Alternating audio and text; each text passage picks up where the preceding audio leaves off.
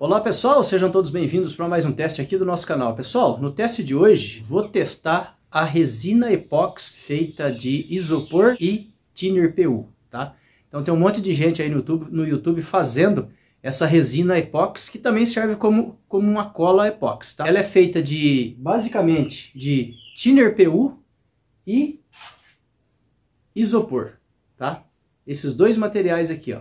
Então, tem um monte de gente fazendo e eu vou testar para ver se realmente esse negócio funciona. Então, para fazer aqui a nossa resina epox, como eu já disse para vocês, ó, a gente vai precisar do thinner PU, do isopor, tá? E também serve, pessoal, aqueles copo plástico transparente, também serve para fazer. A única coisa que nós temos que comprar é o thinner PU, porque o isopor, copo plástico, essas coisas, a gente consegue encontrar aí no lixo, nas caçambas, tá? Então é fácil de encontrar. E como que a gente vai fazer? Não tem muito segredo. A gente vai colocar o thinner num recipiente, eu vou usar aqui um vidro, né? É, é importante que seja de vidro, por quê? Para que o thinner ele não derreta o plástico ou, ou qualquer outro material que você usar aí. Então, o que, que nós vamos fazer aqui, ó? Nós vamos colocar o thinner, uma quantidade. Então, eu vou pôr aqui uma quantia de thinner, PU. Então, daí, pessoal, coloquei mais ou menos aqui, ó, um dedo e meio, mais ou menos, de, de thinner PU. E agora, é simplesmente colocar o isopor dentro. Assim, ó. O que, que vai acontecer, ó? O isopor, ele vai começar a derreter. Ó, estão percebendo? Já está derretendo, tá vendo, ó? Ó, é só ir colocando, ó, que o isopor, ele vai derretendo. Simples assim. Olha só. Colocar um bom tanto aqui. E só esperar ele derreter.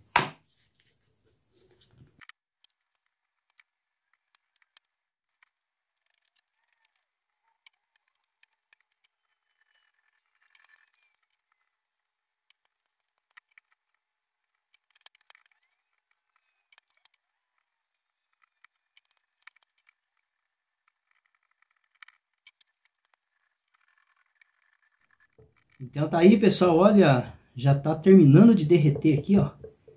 A nossa resina epox caseira com thinner PU e isopor. Olha só. Já terminou de derreter, ó. Então tá aí, pessoal, derreteu, ó. Derreteu tudo já.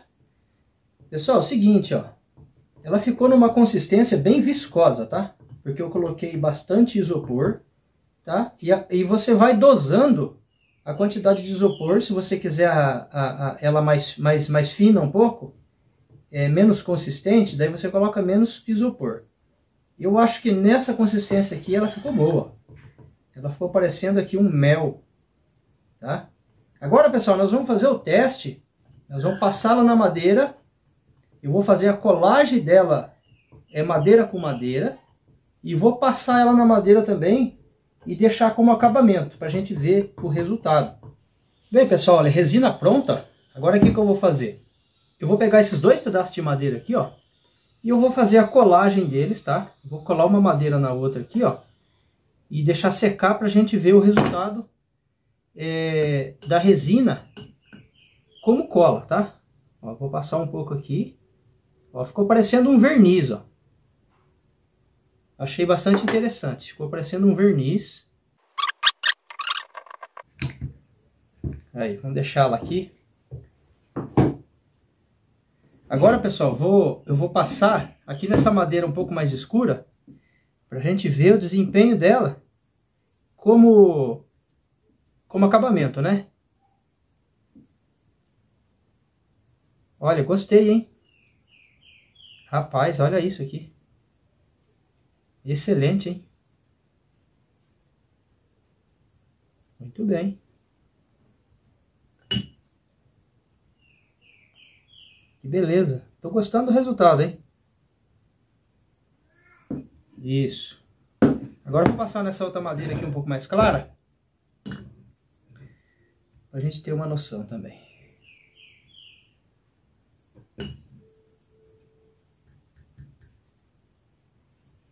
Se você está gostando desse vídeo, ó, já deixa o seu joinha aí, tá? Deixa o seu like para ajudar aí o nosso canal, tá bom?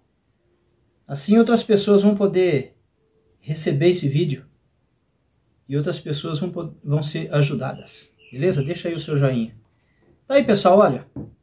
Agora, vamos aguardar em torno aí de 24 horas. Porque normalmente esses tipos de produto, até mesmo produto industrializado, é, o tempo de cura é em torno de 24 horas, tá bom? Então nós vamos aguardar as 24 horas e depois a gente vai fazer o teste da colagem e a gente vai ver qual foi o resultado aqui é, também na questão aqui do acabamento. Muito bem, pessoal, 24 horas depois chegamos ao final aqui do nosso teste. Agora nós vamos, vamos ver qual foi o resultado depois de seco aqui a nossa resina epóxi à base de isopor e thinner PU. Então, pessoal, olha, já está bem seco aqui, ó, a nossa, a nossa resina. Pessoal, eu notei uma coisa, que ela secou, assim que eu passei, ela secou em mais ou menos 15 minutos, tá? Ela secou ao toque. Você passava a mão aqui, ela estava bem sequinha. Mas agora, depois de 24 horas, eu acredito que ela já completou a secagem. Mas dá uma olhada no brilho que deu essa resina, pessoal. Olha isso aqui. Olha isso, olha o brilho. Eu confesso que me surpreendi muito com o resultado disso aqui, viu? Não esperava que ia ficar assim, não. Olha só o brilho disso. Com apenas uma demão, hein? Agora, olha essa outra aqui. Madeirinha um pouco mais avermelhada, mais clara. Olha só. Muito bom, né? Muito bom mesmo. Melhor do que muitos vernizes por aí, ó. Tá? Então ficou show de bola. Pessoal, agora é o seguinte, ó. É, agora eu vou fazer o teste com a madeira colada. Vamos ver como que ela vai se comportar aqui é, na questão de colagem, tá? Então tá aqui, ó, tá bem coladinho, né? 24 horas depois.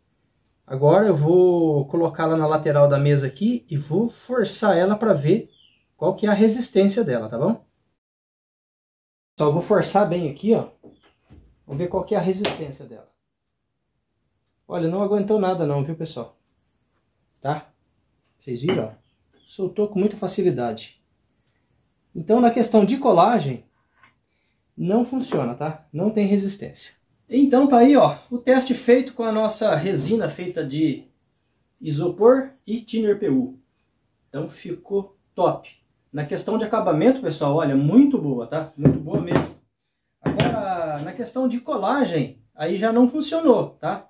Vocês viram que ela soltou com bem, com bastante facilidade, não funcionou. Mas tá aí, pessoal, teste feito, tá?